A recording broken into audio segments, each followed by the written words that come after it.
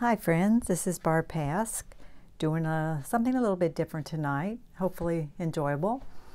Going to um, paint a still life for you, which I do that frequently. You can tell by the title, and maybe the title's what brought you here, that um, I'm keeping Helen Van Wyk in, in, in mind tonight. I'm not copying her. I'm going to try to use some of the elements that she used when she painted if you don't know who she was, um, she had a series on PBS. You can look here on YouTube for her and find a lot of her videos. Helen Van W-Y-K. She uh, passed away in 1994. She was only 64. You know, it's funny, the older you get, the younger people seem, and, you know, I would have thought she was older than that. Um, quite the character a very no nonsense lady, lady, a very good painter. And uh, she had some things that were kind of unique to her. She's a very good fine art painter. You know, it's funny, I was looking on you on I googled her and um, to find out when it was she actually passed away and uh, there's quotes that they attribute to her and one of them which I've said over and over is a painting is a series of corrections that's one of which I didn't realize that came from her. Um, so we'll, we'll keep in mind some of the things she did. Um,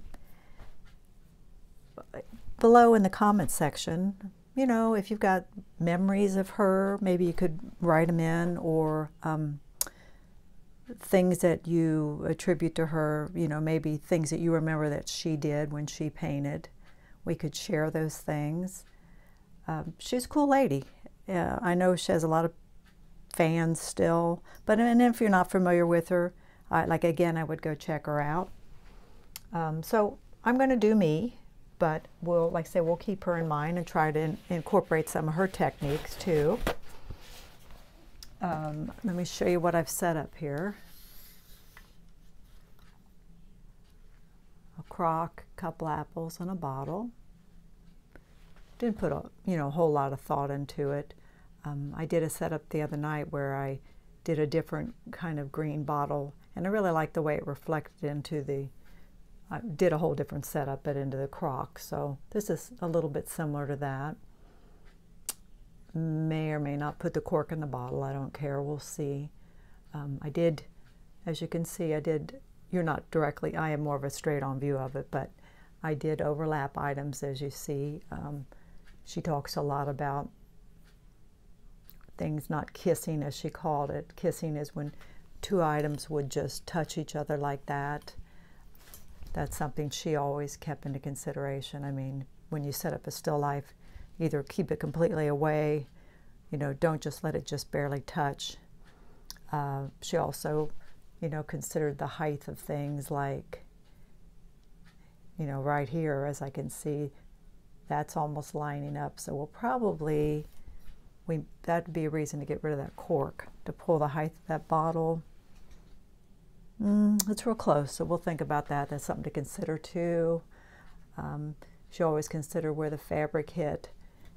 Like you wouldn't want the fabric to hit right at the top of the apple. You know, things to think about. So I'll show you first what she would do and then think about the way I would do it, um, the way she would do. Like I said, she was quick. Obviously, anybody that has a half hour show, they have had to work quick, like her and you know Bob Ross and whole. I'm not comparing them. I'm just saying they had to work quick. I use a view catcher. I don't imagine they existed for her. We've got a lot of cool things to use now for painting. Um, I don't recall her ever using anything like this. My mother-in-law was an artist and uh, I think I still have it, but my father-in-law was handy. He was a woodworker and one of the things that I have, I think it's out there in the garage, like he built her this cute little canvas carrier. It was on wheels and she could roll it around and take it plein air painting. You know, now we have so many wonderful things available to us. But I'm going to look through my view catcher. You know, this is what I would use to set things up on the canvas placement. you know, you don't want to get too high on the crock. What she did, she would just kind of do an area, you know, maybe like that, and she knew her placement had to go in there. And inside that, she would then say, uh, you know, she would do something like that. Crock is here, bottles here, apple here, apple here. I mean, she was just quick and no nonsense, and it was kind of. And then once she did that, then she would usually develop her sketch a little more. Another thing she did, I recall, she would draw a line like right at the center of her that bottle, for example, which, and then she would do like the. This would be the shoulder of the bottle, and she would consider that this size was the same as this size and get her container which I was a good tip too. You know, get her container symmetrical, you know. So I'm going to sketch it in,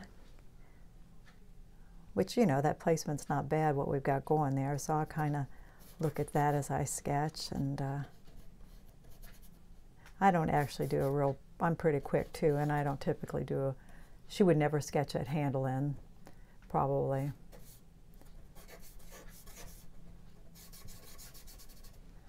So, kind of doing my thing, like I say, in some of hers, considering how she might do it.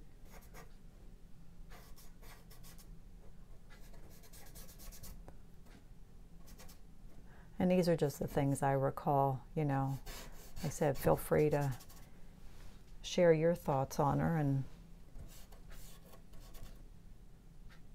there's a shadow back here and a shadow on the wall here.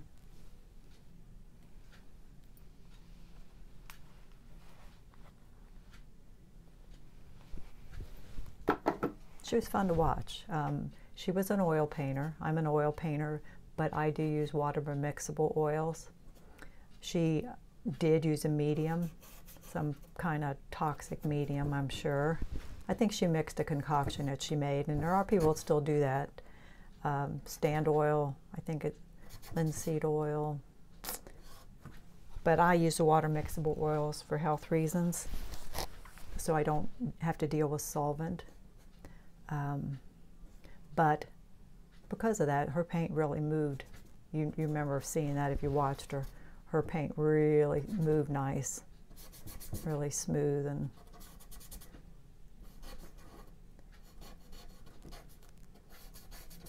Mine doesn't. I mean, I can add a little water to mine, and they make mediums for mine. Don't get me wrong. I could use a medium. I just choose not to.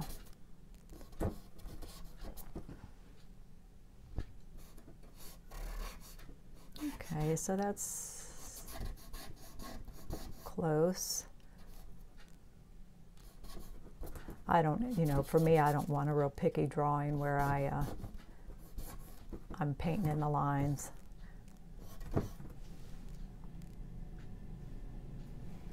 Even though the drawing's very, very important and uh, I'm going to bring this out a little bit more.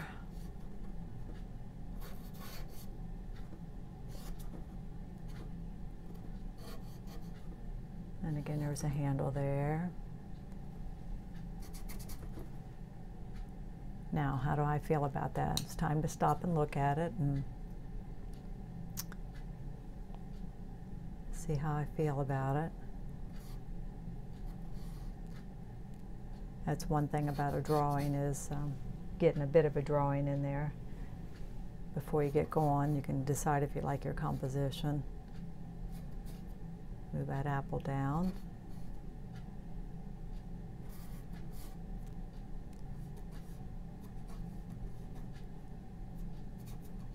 I, what I do is typically I look a lot at negative space, like how far up to the apple does this go, then how far up for the crock hits, you know, helps you draw. You know, we got a lot of negative space in here you know, how do I feel about that? Part of that's just obviously the way I set it up. You know, we could go a little bit bigger with the crock. It's going to pull the apple down further. You know, we can't go too much bigger. We can bring it up a little higher. which would bring the bottle up a little higher.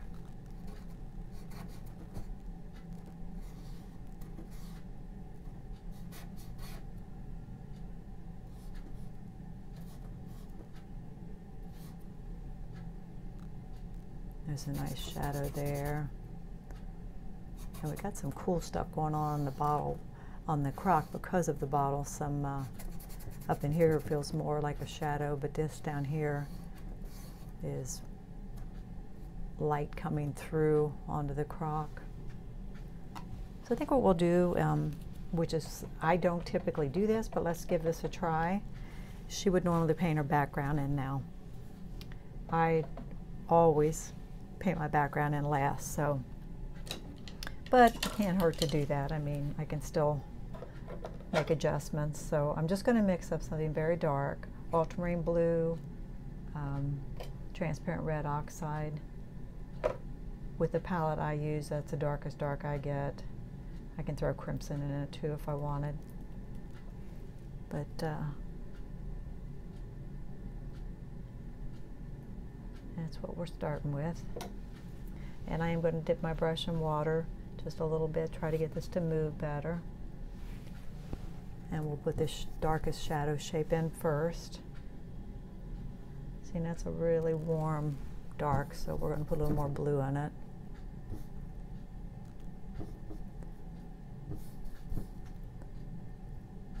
Okay, and we're saying this is hitting, now we got to be careful, we don't want it to hit right on top of the apple.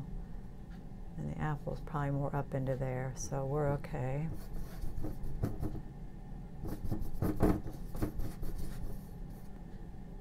Like I said, I recall hers moved really smooth, and that helped her paint quicker too, you know. We're not going to worry about the handle yet.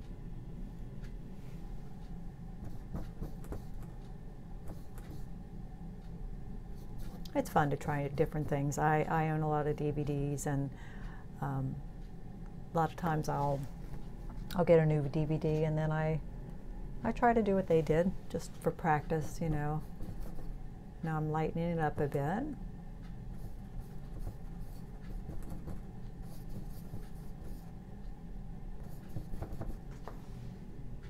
And we don't want to be too precise drawing in the shape as she wouldn't have been either because uh, the shapes are not probably correct for one thing.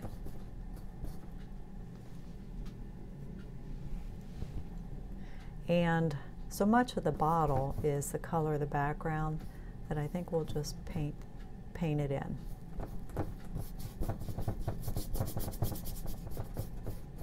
Which is something she would have done, I think.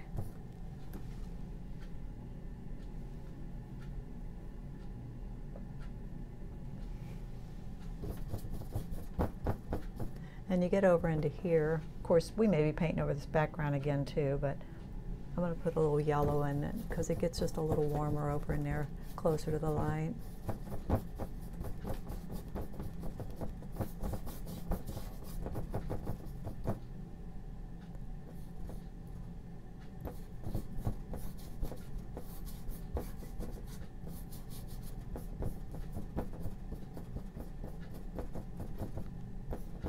I think she was married quite a few times. I remember talking about her mother-in-law. I don't know which mother-in-law, but driving them crazy. I think one of them would come over with a white glove and look for dirt and yeah. Okay, we're going to leave the uh, foreground for later. We'll go ahead and we'll start with the crock now. And it's white.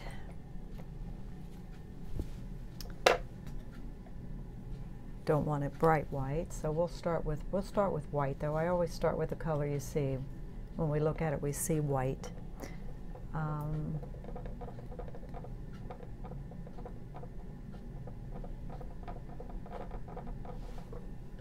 I'll put some yellow in it.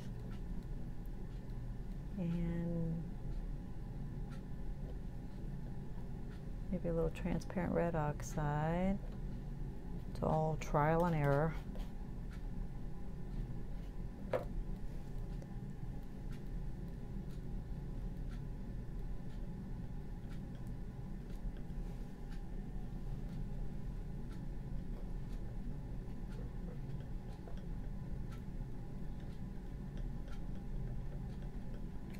keep dirtying it up with some of that mixture that I made for the background.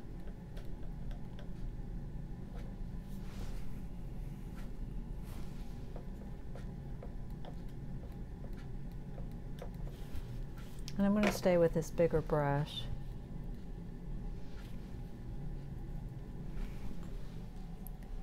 All right.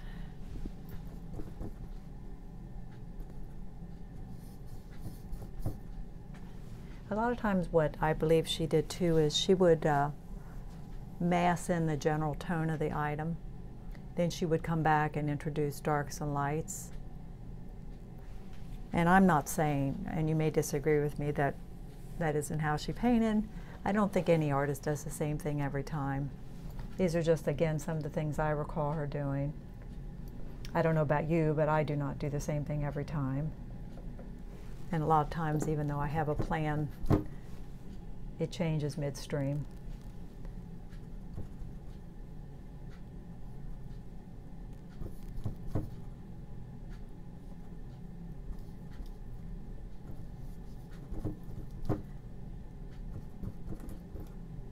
because this has obviously got to have more of a glow in it, and I see that looking at that. Um, here's one thing I remember her doing well, which I thought was pretty cool. see if we can get it in there. Making something a little darker here. she would paint in the shadowed side, okay?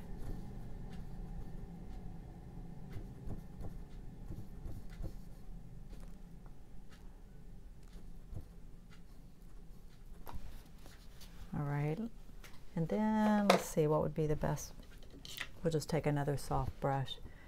This is something I thought was fun she would do. Then she would do this. That's something you probably remember, right? And I've got some softer blending brushes here. We'll, I don't know how they'll work. I'm going to be dirtying a lot of brushes probably.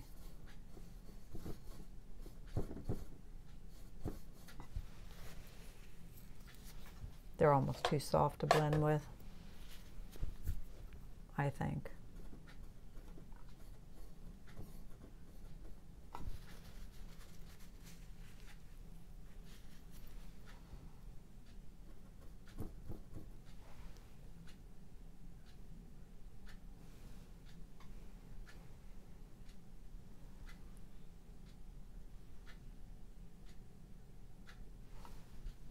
I'm looking at that, deciding if I want to bring the crock over. Another thing she, she, I did see her do was sometimes is like she would just make the edge of something disappear into the shadow and then you'd have a lost edge. You know, lost edge is when you can't really define the edge of it. The value's close to the background and that can be very interesting, I think. There's a shadow over here.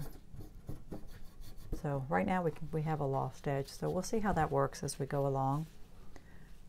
All right, let's move to the green bottle. Nope, we got to do the top of this guy first, which it's a dark color, a warm dark.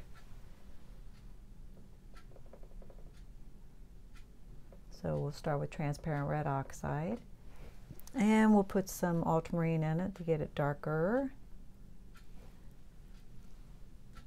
It is pretty dark.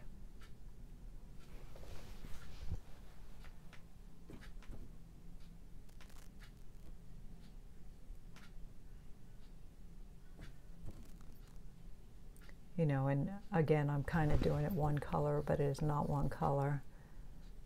We'll have to come back and uh, put highlights and uh, I like the transparent red oxide. It's a nice rich color. I don't know if it's on your palette or not, but it's really one of my favorite colors.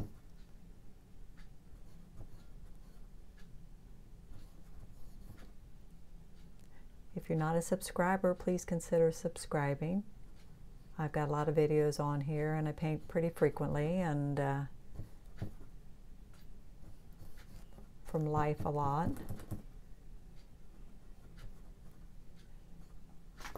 Thank you if you are a subscriber. Um, I love your comments. Please consider commenting too. In the last video, if you recall, I talked about that little fluffy dog that I painted and I sent to Canada and uh, I checked on it and they claim it was delivered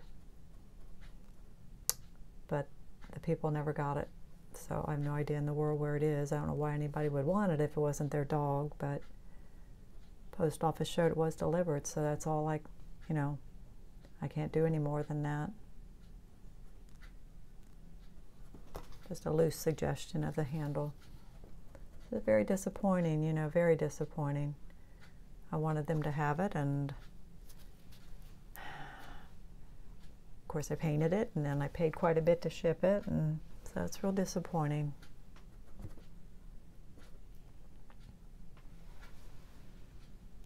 Maybe it will show up at some point. I finally told them what it was I shipped, and I gave them links to the the video here on YouTube so they could watch it. you know, there's your painting, but I don't know if they'll ever own it.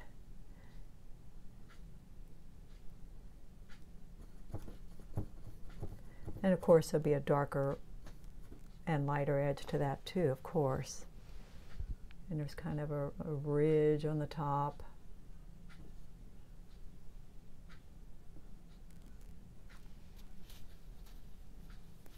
kind of a plain crock. Some of them, you know, have numbers. This one does not. Got a nice highlight up here at the top. There's some discoloration here too of a lighter kind of warm color. We'll see about that too.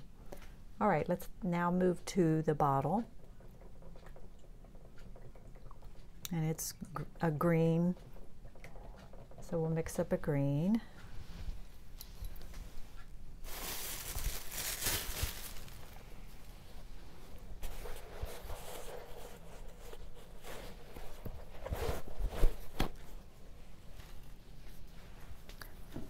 Finally, I got up to 100 subscribers. Happy with that. It's a start. Hoping in time I'll have a lot more.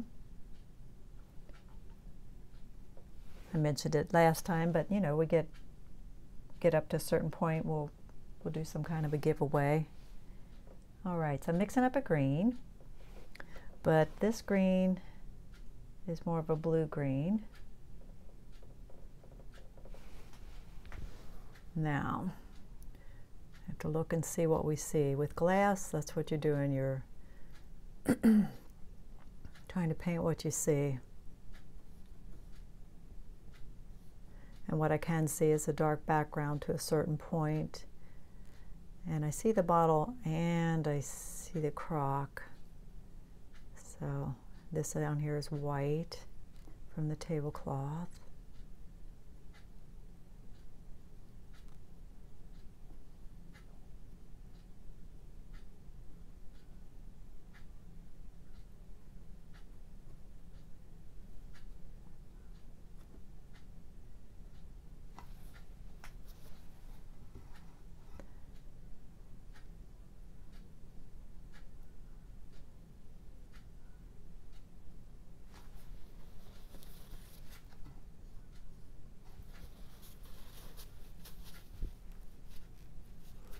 Once we warm this up, I'm going to try to bring some of the, the green over onto here, the um, reflection, kind of a shadow.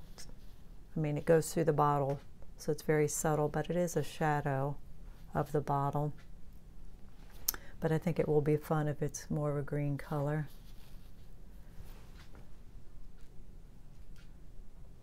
And like I say, I can kind of see white through here too. It doesn't look white. Let's get that from the crock.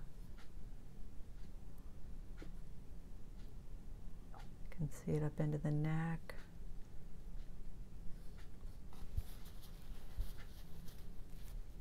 Things are distorted to, through there too, you know.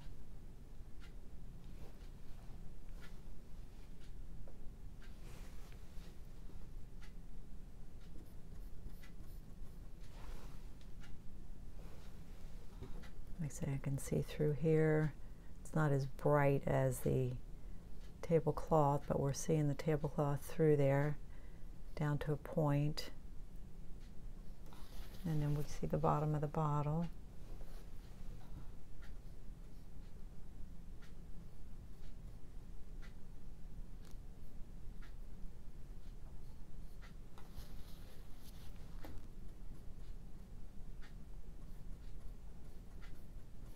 Again, I'm not super concerned with things being just right yet. We're kind of, you know, blocking in.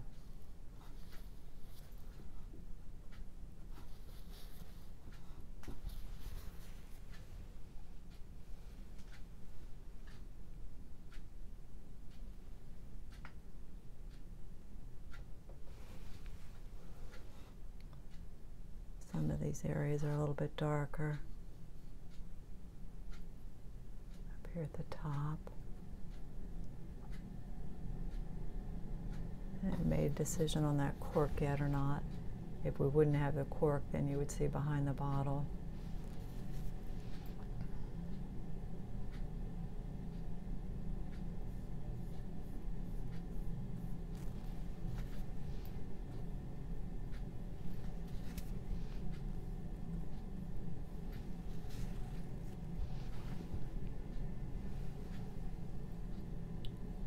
darker back in there.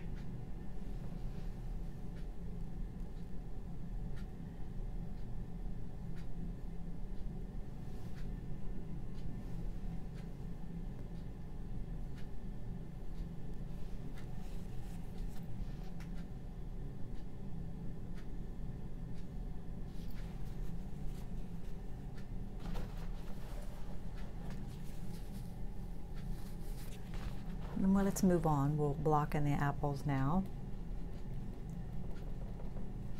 These are fake apples, but they look pretty good. One is green and red. Can you see? They make pretty good fake fruit now. So there's no reason.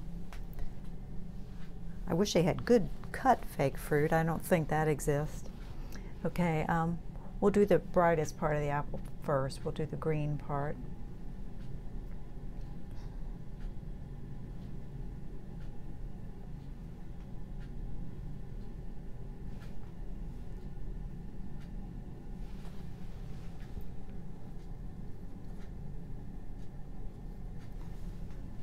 It's actually more yellow than that.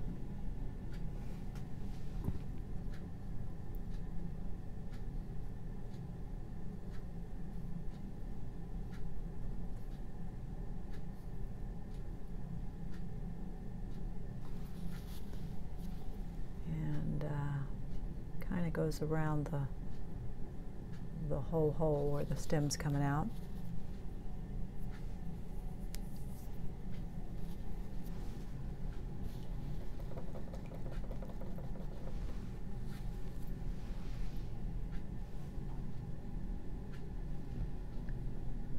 go into the red part of the apple.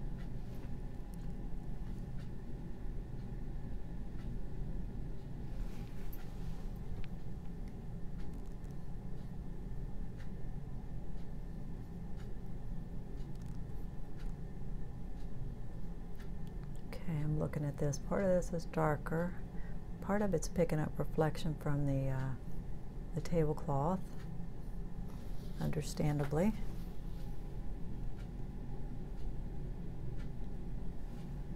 So we'll put a little white in there, trying to lighten it up a little bit.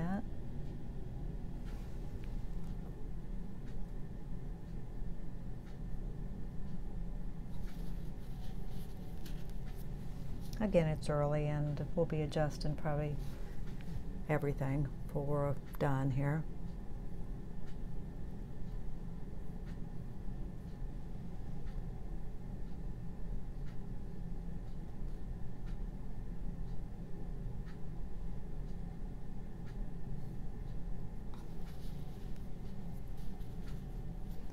See, one thing I don't like is this is kind of divided in half, so we're going to move that over.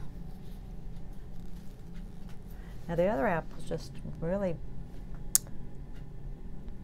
doesn't have a lot of color variation in it. It's red. got a darker, darker side. That is pretty dark. Put a little bit of that in here.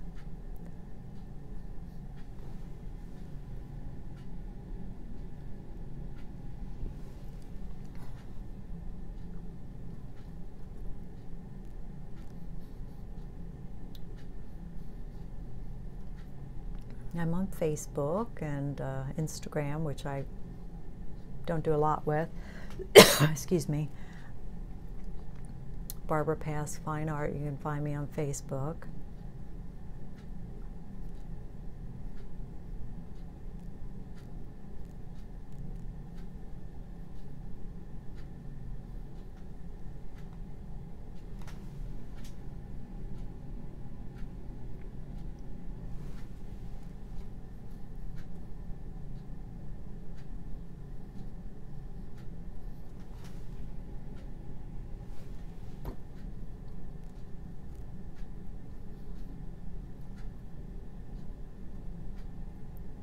This is really just straight paint I'm using right now.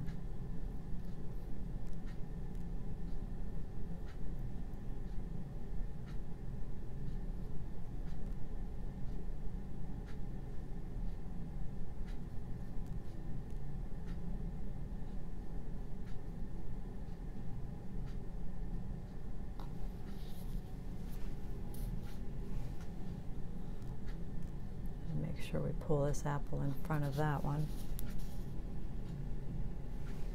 Brush is kind of polluted, so we're kind of losing that color.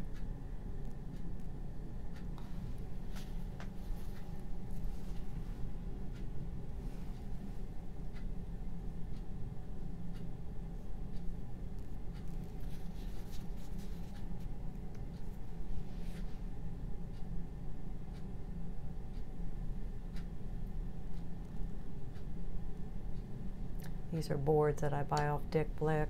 This, uh, I, they are gessoed hardboard, but I put a couple more coats of gesso on them because they're way too slick to use as they come.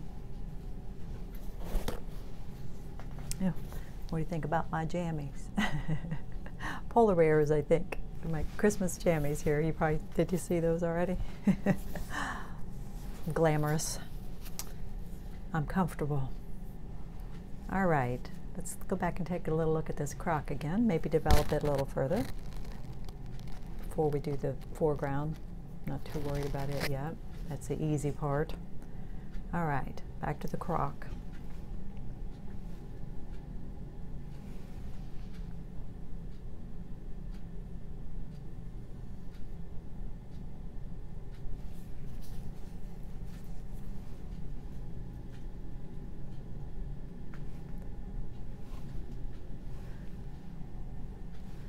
Said, there's some uh, weird, well, it's really old, so there's some weird color variations in it.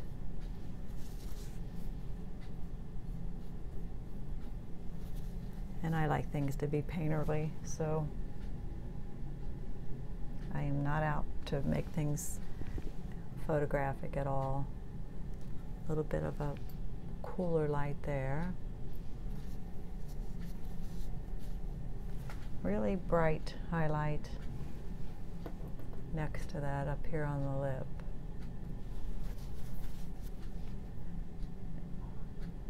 And that's one thing Helen never would do. She would always come back in and develop her highlight. I did hear her say that if it looks like a blob of paint on there, like on the glass, you know, then it's not correct. So.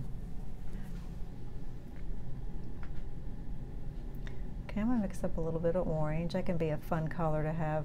I don't use a tube orange, but it can be a fun color to have on your palette for a lot of things. We're going to put a little bit in here and warm up the edge of this. It's in the light side.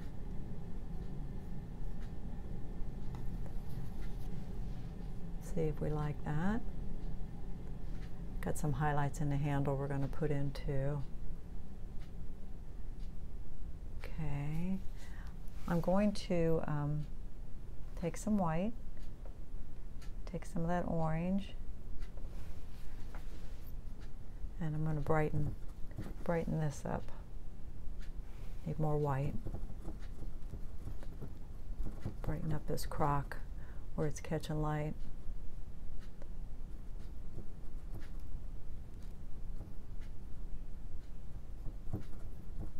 Oops, got a hair in there. It's a fighter.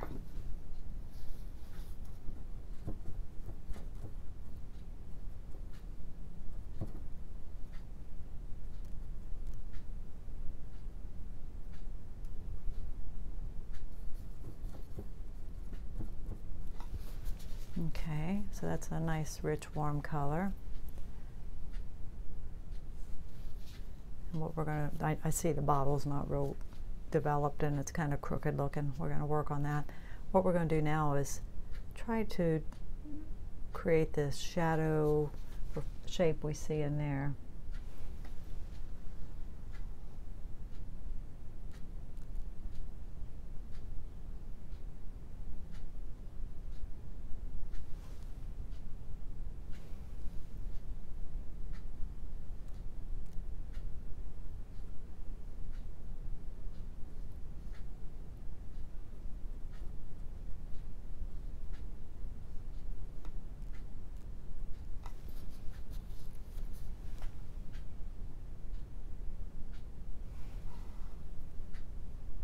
painting is always a challenge. I've said that before. I think it's part of the reason it's just irresistible. I mean, it just, if it works, it's great,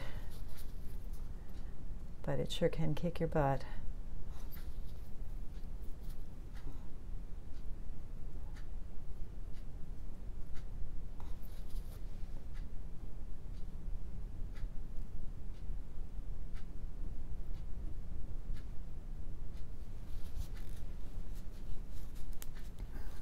Okay, let's work on this bottle.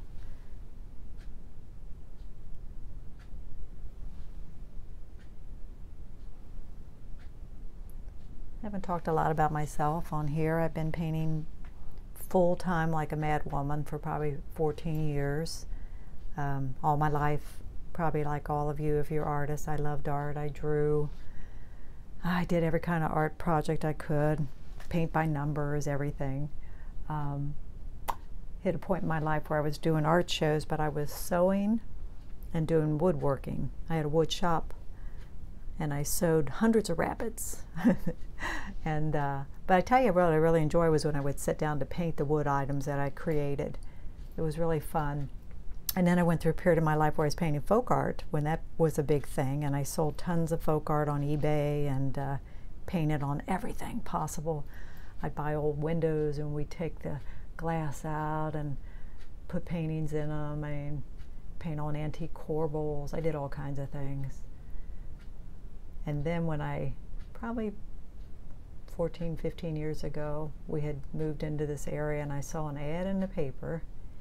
They were starting a plein air group in this area. It said, bring your lunch, bring your easel. Um, so I showed up. I didn't even own an easel. I had to buy an easel because I'd painted like on a table, you know. And I showed up with my little craft paints because that's all I had. I had never painted a real object in my life. You know, I had painted folk art mostly out of my head. And so I sat up in front of a flower bed and proceeded to paint flowers. Um, and we stayed together that summer. And when winter came, the group wanted to continue on. So we found an inside location. We painted outside for a couple summers, and then the group weren't really plein air people. And uh, the second year, I started, I chair that group now, and I've chaired it like from second year on. And we're like, we have like 20 members, and I have a waiting list of about 15 people. And we only paint inside. Most of them I mean, not, some of them paint out, but not as a group. A lot of them are not interested in plein air. I do both myself, but uh, it's a great group of people. I consider them friends. And we're all members of the local arts council. our group is created by them, and uh, which a lot of advantages to that.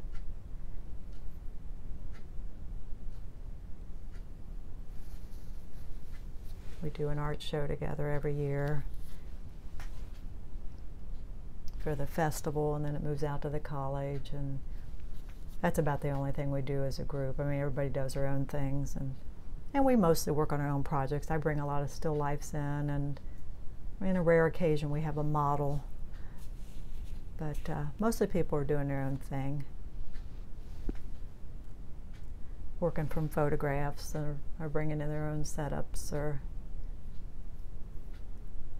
we do monthly critiques and it if you can be a part of a group I really recommend it. We got all ages too. We lost our oldest member a couple years ago. She was in her 90s. She was fantastic painter. I adored her. Now our oldest member is probably 86.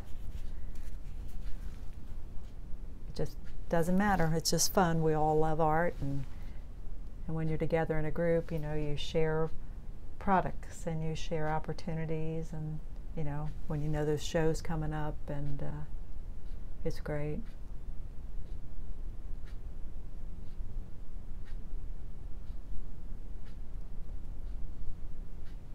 Trying to develop this bottle a little more, see what I see there. Don't know if the cork's important or not.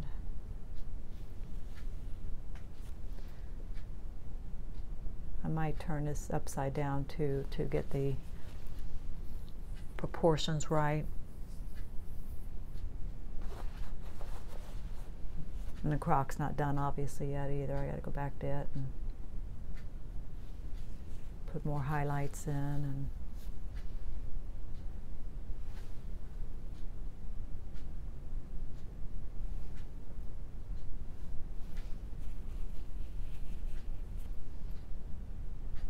let's um, put some highlights in the bottle and see how that feels.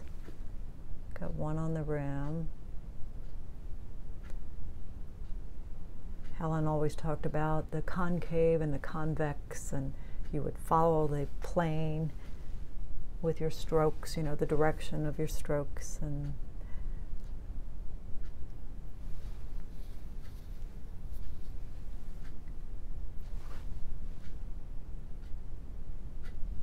brighten these up a little more. It's pretty intense.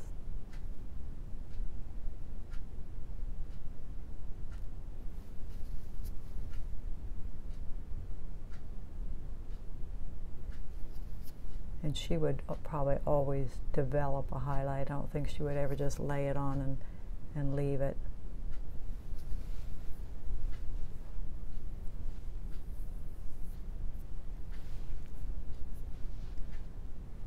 Those are only really bright highlights that I see on there.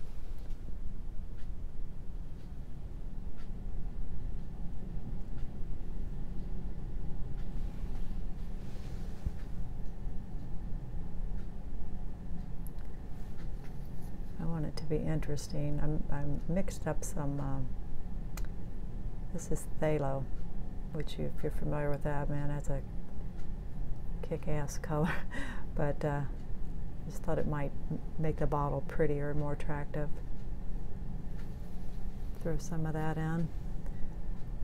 We'll throw a little bit of that into the reflection over here too.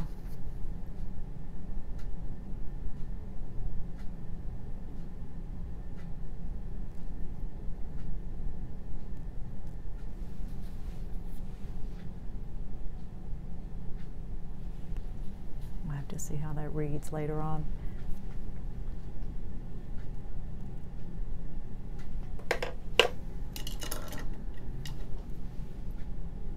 I stay with pretty big brushes through most of the painting. I am going to get out a littler brush. If there's a highlight here, there would be a highlight here. I haven't pulled that cork out, but I should. And then the highlights on the handle got one here. And then it's a little warmer and lighter around here. Okay.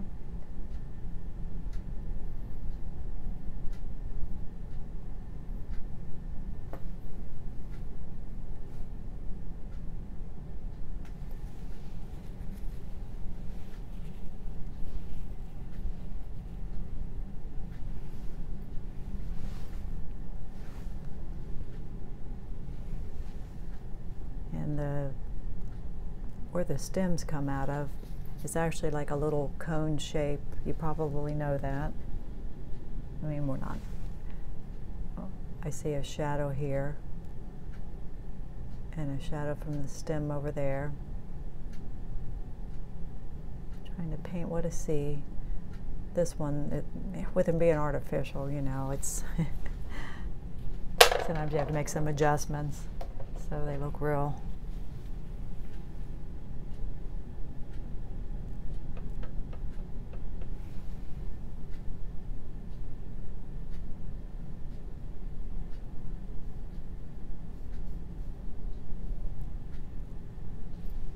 Kind of cleaning that back up.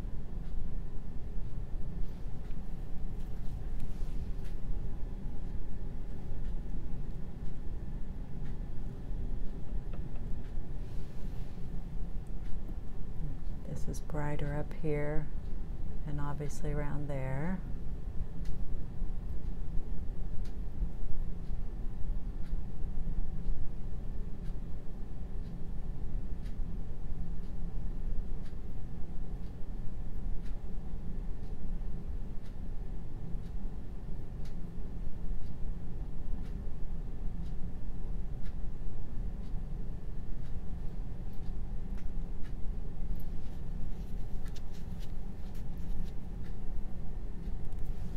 We'll put the highlight on um, the apple, apples. And that was one thing I noticed she did. Okay, my highlight is actually just a little, probably due to the light that I have a spotlight on it, so my highlight's kind of rounded. Um, this is how I saw her lay a highlight in though. Heavier and bigger than you needed it. And then she would cut it back. So we're going to try that. You know doesn't work it doesn't work. But she was always thinking about the direction that things ran and you know I think when she laid her brush strokes on she thought about the anatomy of a thing you know how it was made up. Uh, let's try to now pull them down a little bit and see how that works. You know, I don't want to do away with it. I can come back and add some more to it, but we'll kind of work it in for now. Let's see. Now let's put a little bit more on there. And some people, there's all kinds of things about highlights. Some people say never do pure white. Um, some people do the complement which is another thought. I mean, like on the red apple, you know, how would it look to do a green highlight? Let me, let's try it. You know, on top of that, you could still do a little white. Let's see what that looks like. Kind of fun and unexpected, right?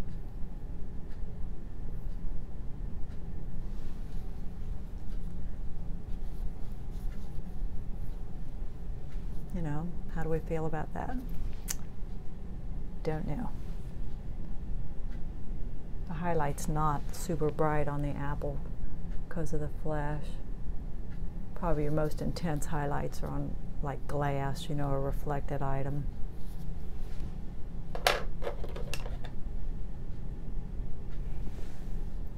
Which we're going to kick those up a little bit.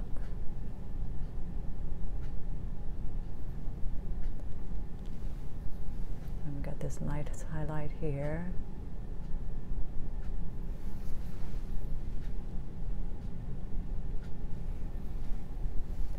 You know, and again, what color is it? You know, I'm looking at it. It's warmer, so it's in the orange family, probably. we'll go orange and then we'll go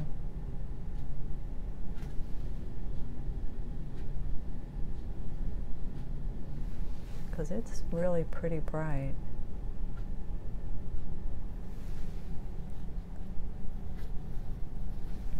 There's a little bit of a highlight here. And that's probably going to need to be pretty white to show up.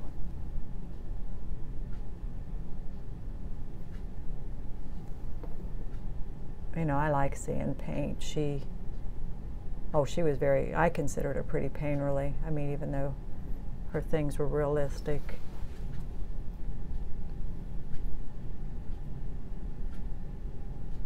A lot of it, I believe, is confidence, and she was confident, and uh, we can be our own worst enemy, I think, you know, get into our own heads, and but she was very confident about what she did, and I do think that helps. Feeling as though you can do it, you know.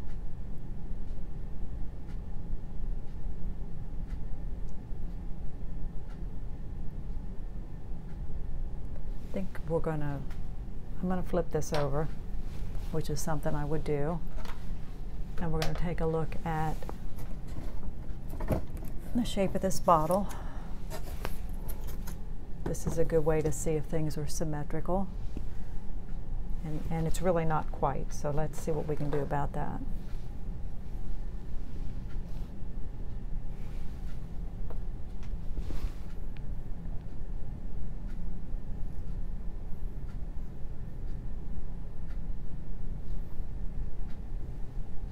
Feels better.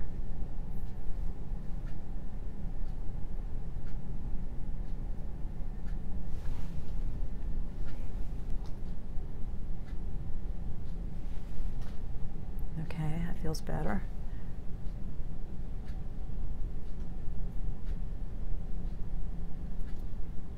It's a really good way to look at things. Um, you can sell, tell when you turn it upside down too where your eye's going and what's your focal point then and but it's really good to see if things are symmetrical and straight. To photograph your work is really, really helpful too. I don't know if you do that and it's almost like looking at someone else's work when you do that. Photograph it, get it on your computer, look at it in a thumbnail size. Really helpful.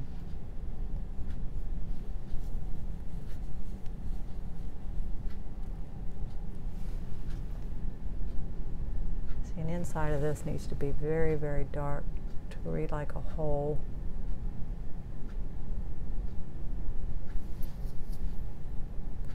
And this would be more rounded than I got it. Even though, again, I'm not going for realism.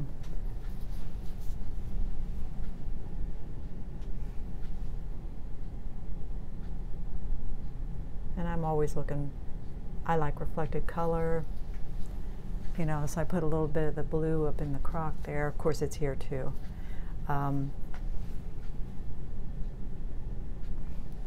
up on the bottle here, I see some red from the apple.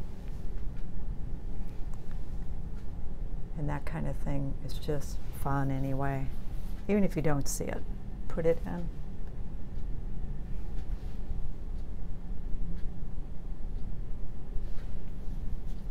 Oh, let's get some stems on our apples. All right, where'd my little brush go? Here it is.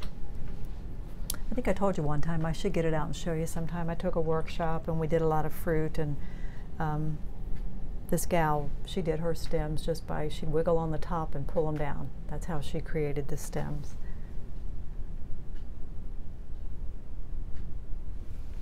Worked for her. I don't know. I, with these not being real apples, oh, I'm going to have to paint this stem later anyway, as I can see, because I don't have the background in. So we'll stick it in, but it would be covering it up anyway. So, and this one, it's got a, it, again, they're fake. It's got a weird little stem laying over, which I don't like. So we'll just stick that in for now. But we're going to want to highlight these stems anyway. So. Well, let's move on and get something mixed up for the background. Again, we're going to start with the general color, what we see, which is white. And actually, I'm just going to mix it into some of this crop color from earlier, and we'll warm it up a little bit.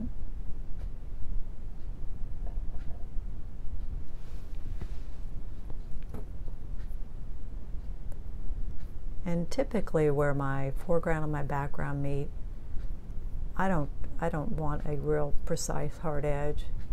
Um, some people do, I don't. And so we'll probably play with that. Okay, so I'm looking at the shape of things. Oh, one thing we need to do before we get into this is let's put some shadows in here. We'll just mix up uh, some blue and some crimson. We'll make a a purple. See how that reads. Now this is a shadow of the apple and uh, runs over to the bottle there. Of course we'll have to put some shadows under the apples and, and get this crock setting down nice and flat. And then there's a nice shadow over here where the, for the, from the crock. And there's a funny little shadow here. Again, we're seeing through it from the bottle. Okay. All right, back to the tablecloth.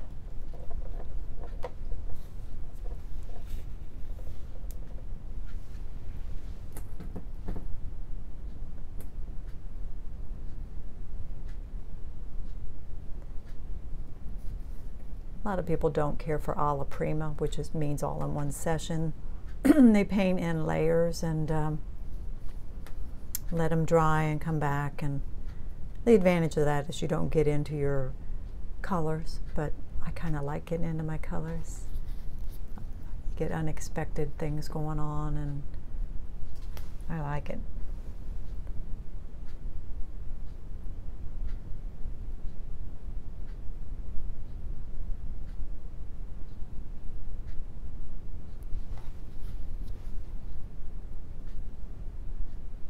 Background. it's more over into there, so we'll need to move that shadow up, won't we? Okay.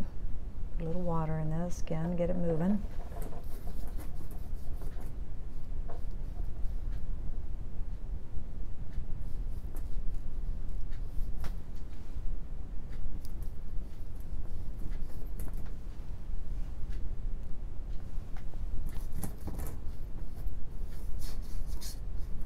Um, oh, one thing I did not do, but I see Helen do a lot, I noticed a lot of her canvases are toned gray.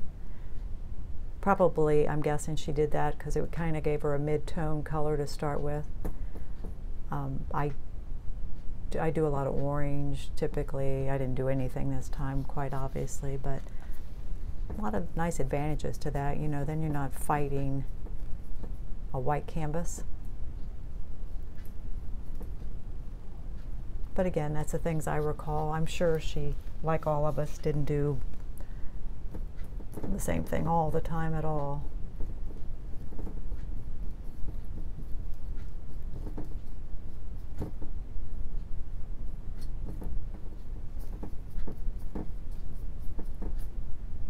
This is a nice thing about oils. It's still wet, you can still push it around. Um,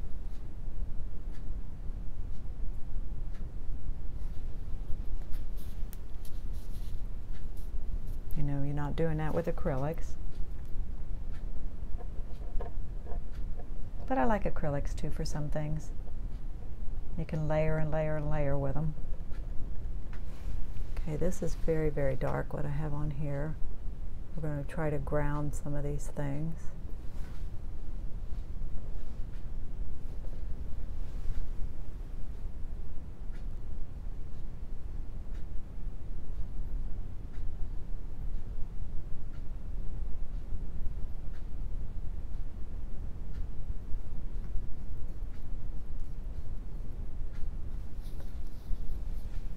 Again, we pretty much got a lost edge over here, which is kind of nice.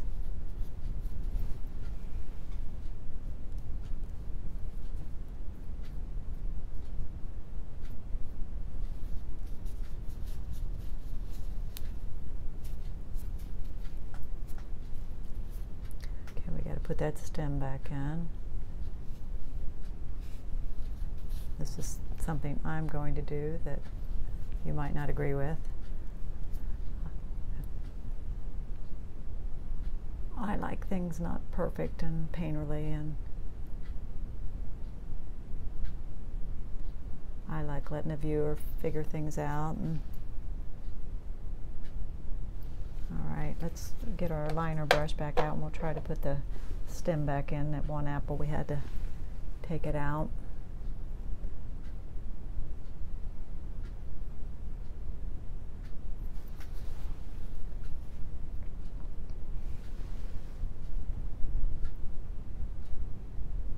bit of a highlight on there, see if we like that or not. If we don't, we don't.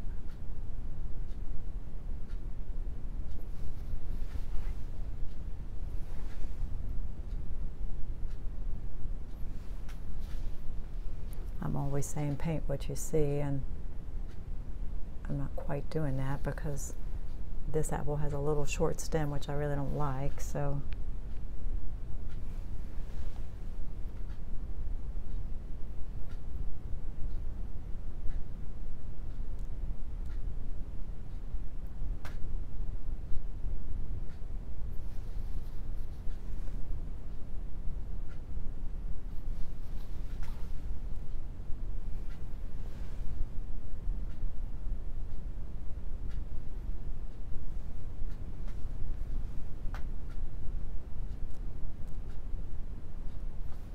too too little of a brush here I'm farting around with and you know I end up with stuff I don't like doing that. I was trying to put in some of these darker shapes that I didn't have in.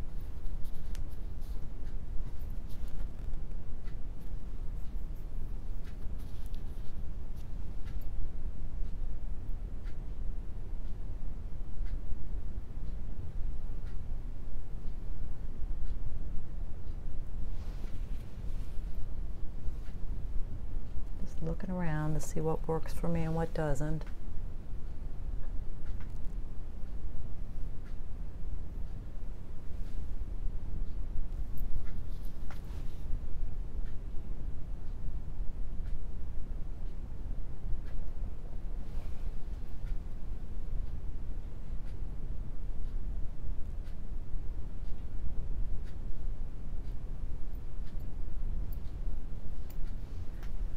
there's something I can put in that I see.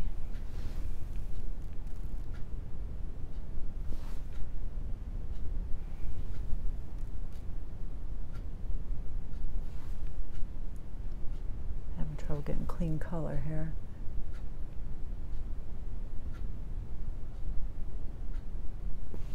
Now, I don't know if I like that, but I see that. Let's see.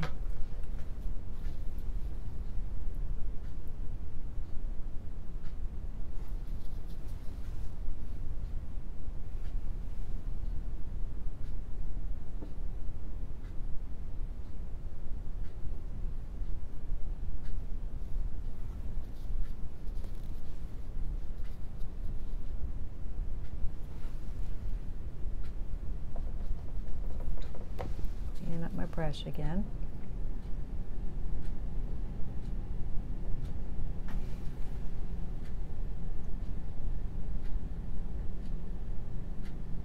It's really bright over there and I don't really have it that way, so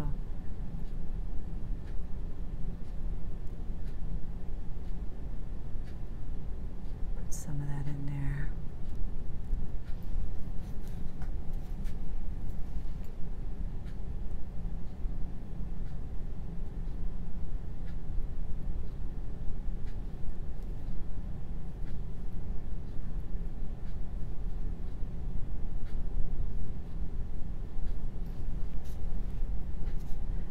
thing I see I've got to change is I got to bring the lip of that bottle over.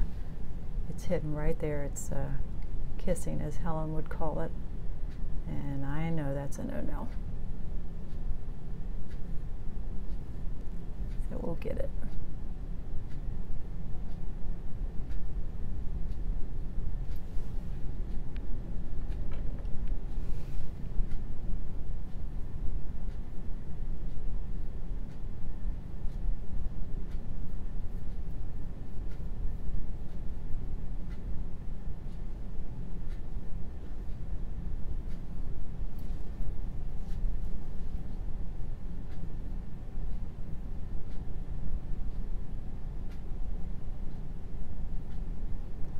See, I'm looking at the shape of this and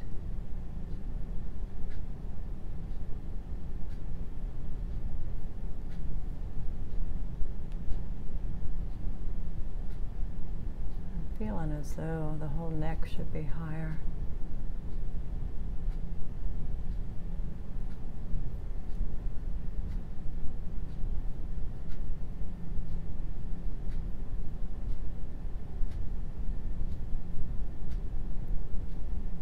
probably wouldn't matter to anybody but me, but uh, these are common crocks. A lot of people own these.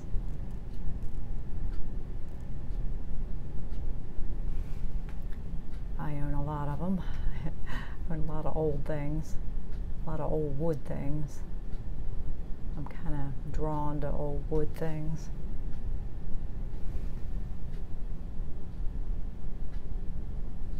Butter molds and coffee mills and of course crocks and spent a lot of years collecting a lot of stuff. Now now it kind of gets on my nerves. All right let's bring this out this lip over the croc.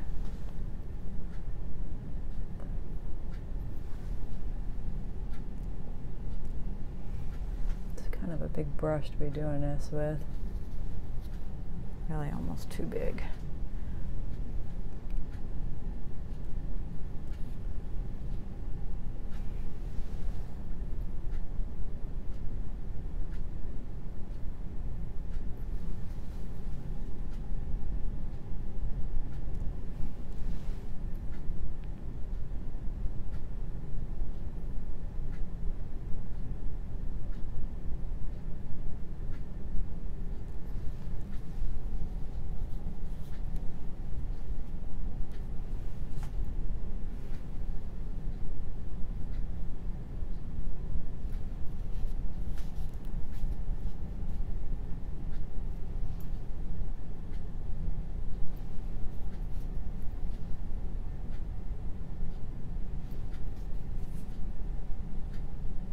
Right, let's put that uh, highlight back in at the top of that croc.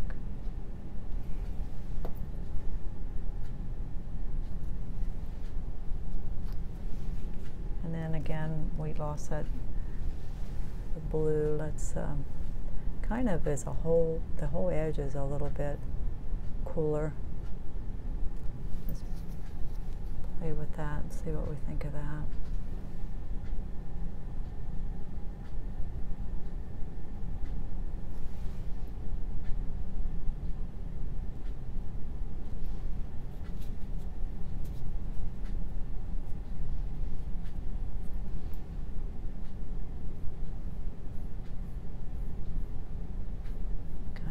Back the edge of that bottle a little bit. And I kind of lost the edge, which is maybe kind of nice.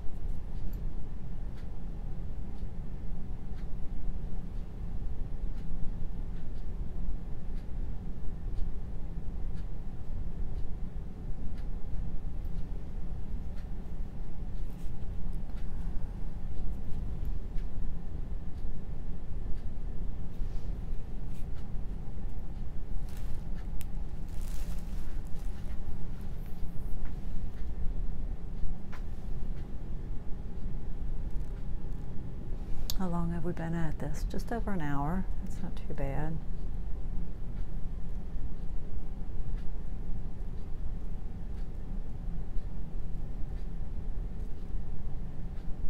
Introducing a few darks back in here.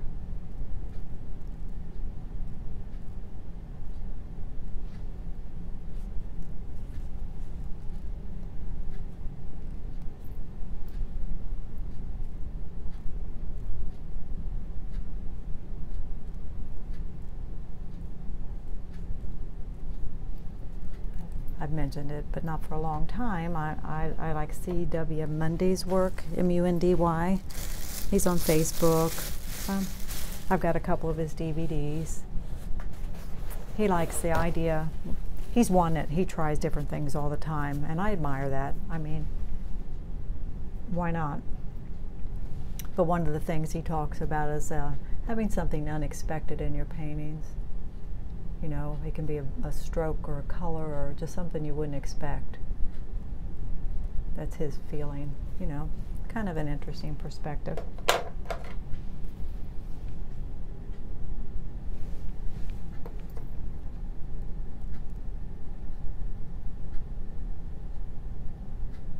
of trying to play around, that kind of curves back behind there, even though I don't want it real particular. I gotta be see about over here. I've got a complete lost edge over there, which I don't know. Kind of like that.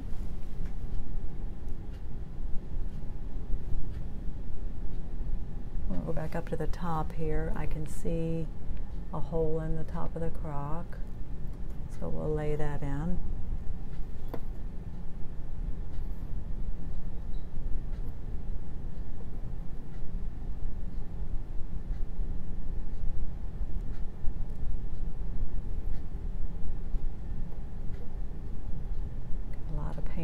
Little liner brush.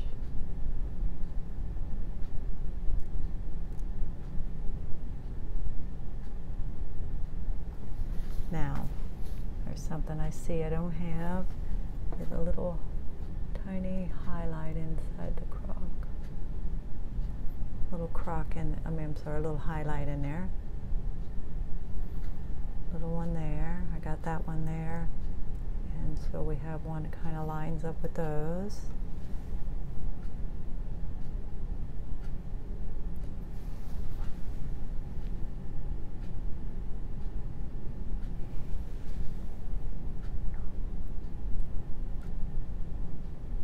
I think we had our bottle better earlier. That's what happens when you play around with them.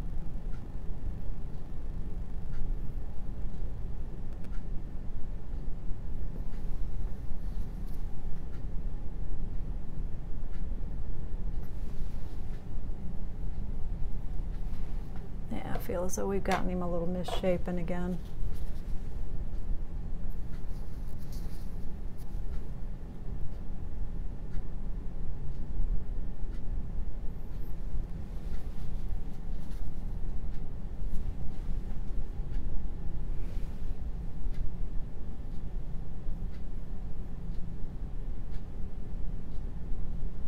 It'd be hard to paint exactly what you see it's really distorted looking through that glass.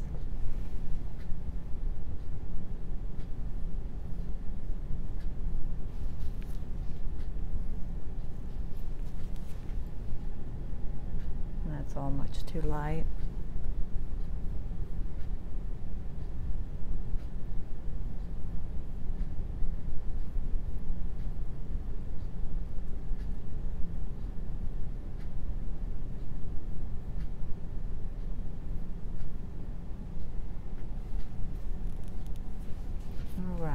we're about to call it maybe. Let's see. Looking around, just a couple things.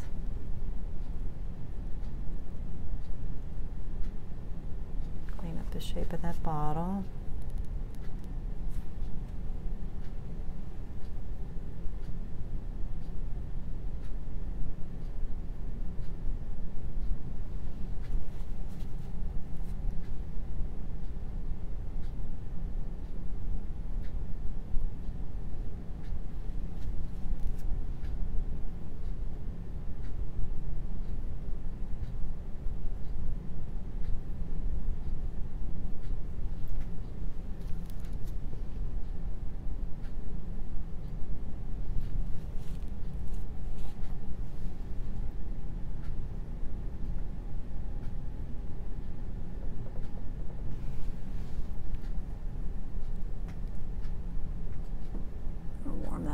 Bit, I think.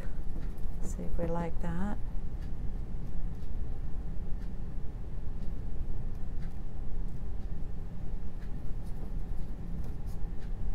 A little heavier paint.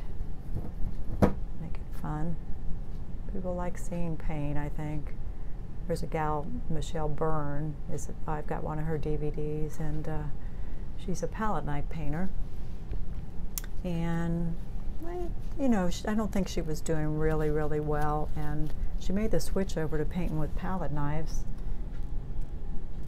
I mean, she had good drawing skills and she was a good artist, but uh, when she made the switch over to palette knife painting, things just took off for her.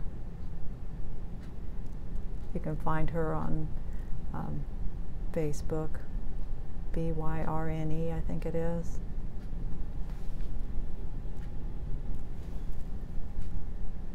One thing she always did, I think, was she would put people in her paintings, and not everybody was doing that. And uh,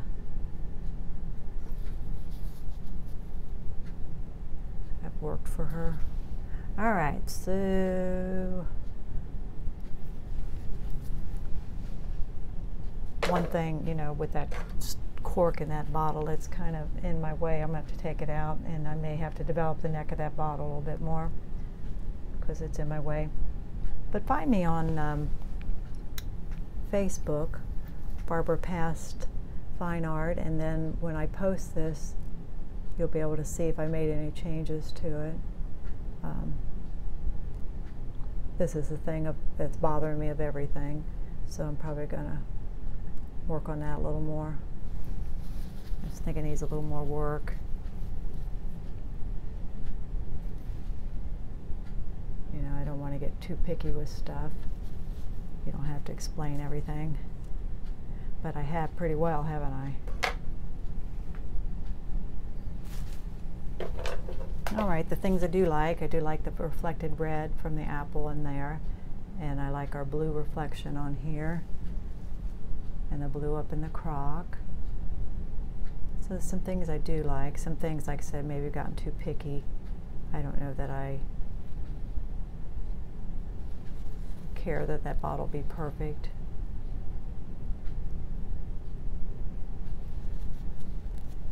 All right, so let's give you the tour. I'll show you.